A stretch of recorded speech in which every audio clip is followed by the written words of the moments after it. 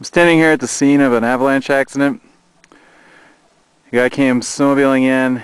He came out here, was going up, just out there about where Tim was. Came up here closer to this cornice, started coming towards me. The avalanche broke on a layer of surface hoar about a foot down. He was caught.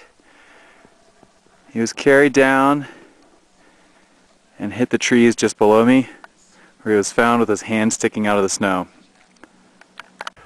Here's another view. He came riding up past those two, up around here.